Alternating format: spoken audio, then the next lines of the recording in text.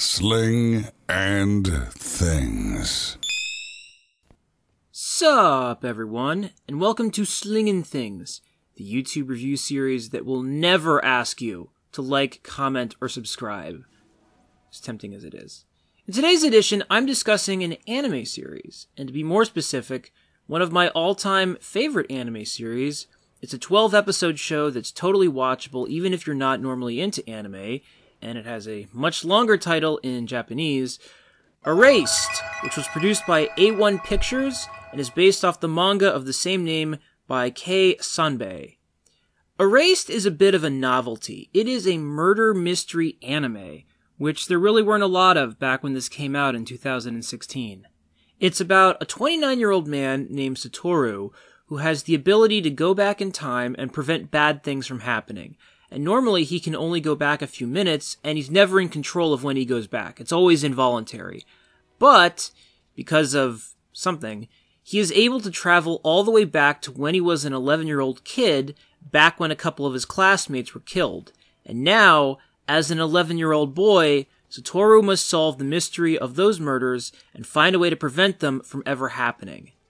It's a really cool premise for a show, and what I like about it is that it devotes as little attention as possible to the supernatural aspect of this setting. The show establishes right away that this power of his is something he can do, and he doesn't know why, and it happens to him whether he wants it to or not. And that's it. It doesn't delve any deeper than that. There is no mystery into why he has this incredible power. It's just thrown out there that he does. And for most of the show, you wind up forgetting that there's a magical element to the series. Because every other aspect of the show is totally grounded and realistic. Even the way the characters talk and move is true to life. There's hardly any cartoonish embellishments in this show. You know, where a character suddenly has like a 10 foot head or their eyes get restricted to look like little dots or whatever.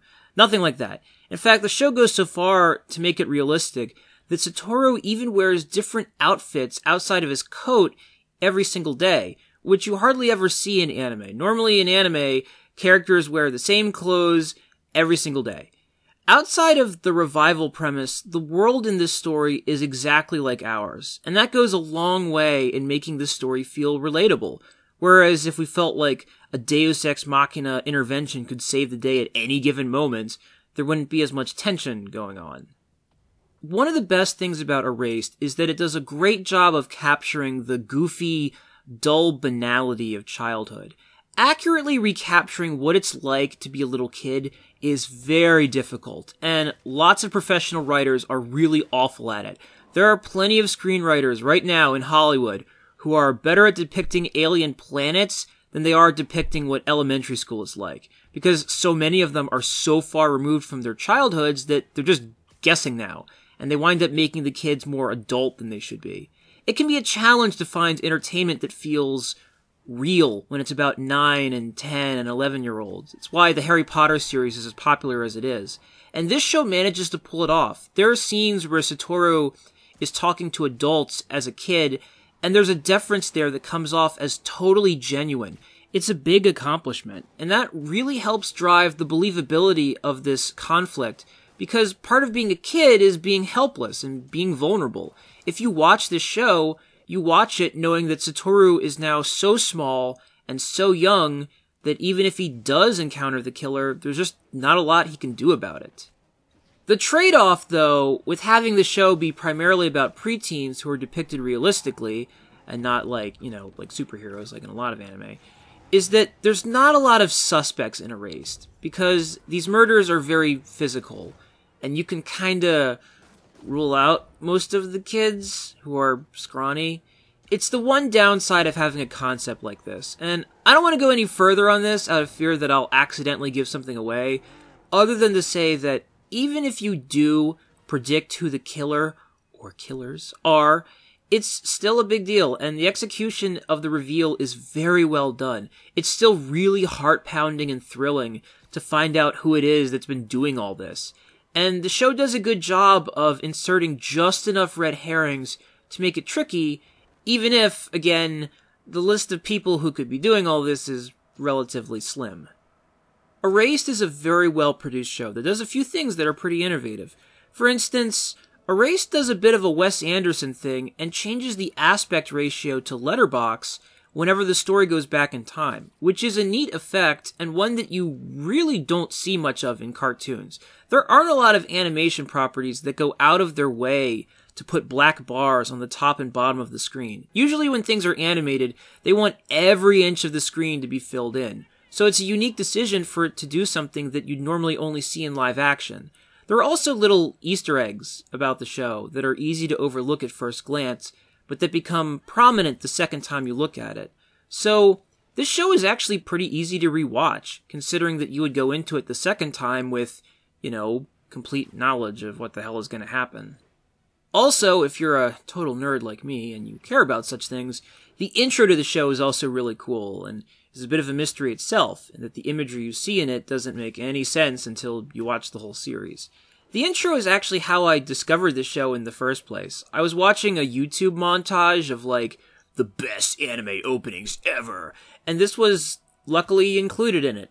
And Erased had totally slipped by my radar. I had never heard of this show before that video, but I watched the intro to it and I was like, huh, this looks interesting. And lo and behold, it was. So, sometimes it pays to watch YouTube videos. Sometimes instead of taking you down a toxic rabbit hole, YouTube will introduce you to new art.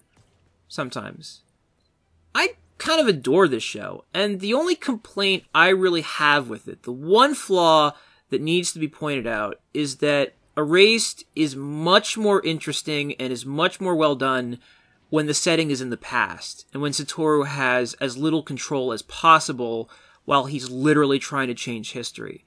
Which is not to say that Erased is boring or bad when it's in the present, it's just that in the present, the series wants you to buy that the killer is still doing stuff and is around, and some of the stuff the show asks you to accept is a little contrived. Like, there are a couple things that happen in the present where you go, okay, this could only happen in TV world. This is kind of pushing the limit of believability right now.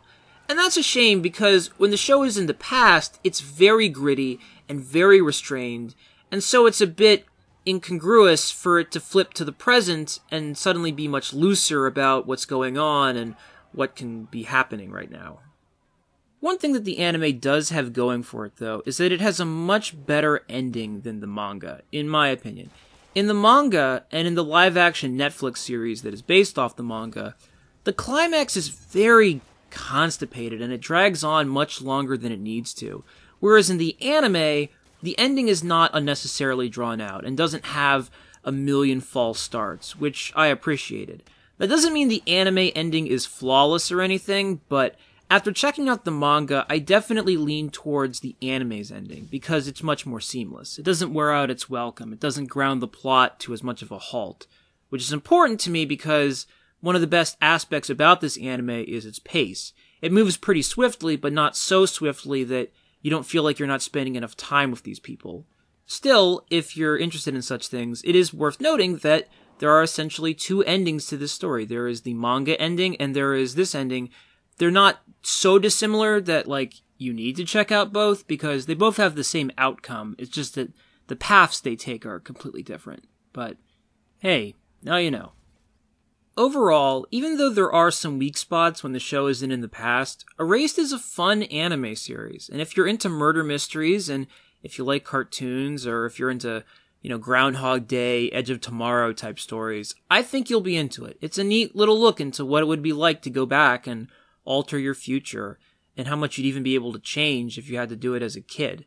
But beyond that, Erased is actually a really good starter anime like, if you're looking to get your boyfriend or girlfriend into anime, like, if they're open to watching it, but for whatever reason they just never have because it, like, didn't cross their radar, Erased is a really solid first option. It's only 12 episodes long, so it's not a big commitment.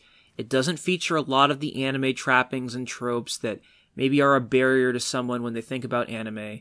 And it's very interesting, and it has a strong hook. And the English dub of it is very well done if you're someone who cares about such things. I think that even if you don't come away loving the show and the atmosphere of it as much as I did, I think you'll get through the 12 episodes very easily. Erased isn't perfect, it can be uneven, but what it does well, it does very well. And for that, it is absolutely worth watching. So, Erased, thumbs up.